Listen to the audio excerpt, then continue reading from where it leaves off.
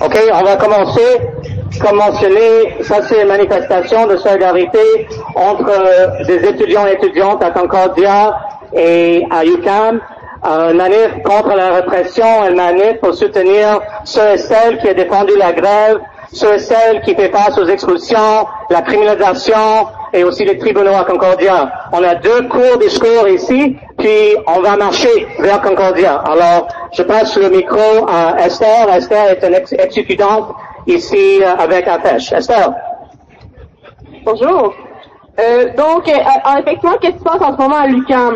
Le printemps dernier, plusieurs associations facultaires ont voté une grève de deux semaines euh, contre l'austérité. Et le seul but de de cette grève était justement de lutter contre l'austérité. Mais l'administration a lancé le feu au poudre en faisant des menaces d'expulsion envers neuf militants et militantes le jour même où est-ce que la grève a commencé.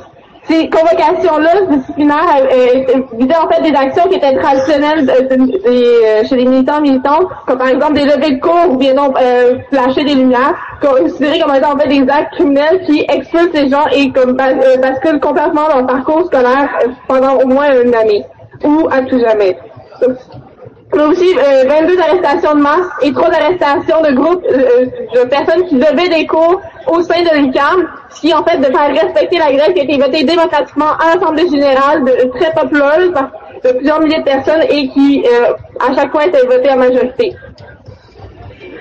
Qu'est-ce qui se passe présentement? C'est que plusieurs associations, comme par exemple les associations de, des arts et des sciences humaines, ont voté la grève dès la première semaine. Ce sont des grèves d'appui contre les travailleurs et travailleuses, contre les politiques d'austérité qui s'organisent.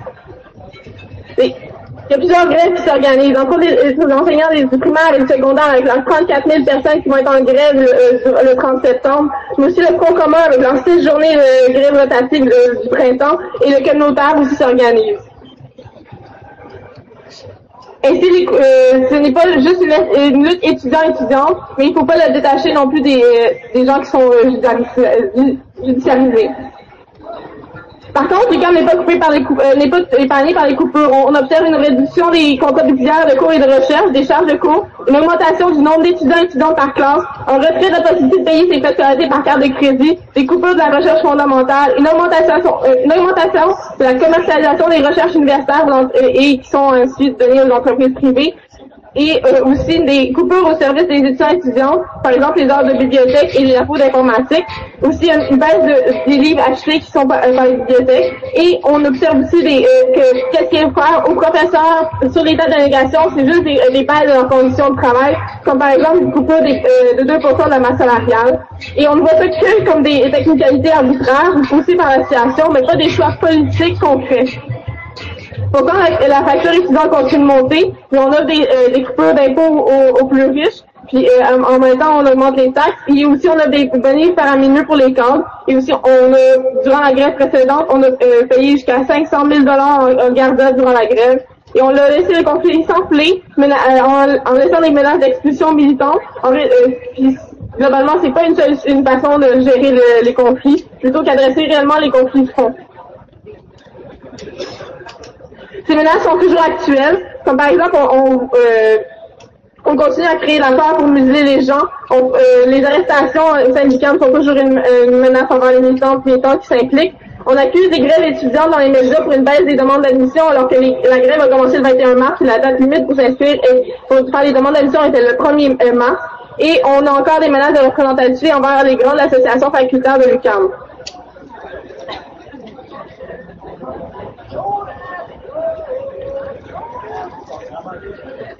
On, doit encore continuer à lutter. On ne le fait pas parce que c'est le fun, mais parce que c'est nécessaire, que c'est la seule façon de le faire. Que la- l'altérité, ça touche tout le monde, mais surtout les groupes euh, défavorisés, comme par exemple les primaires.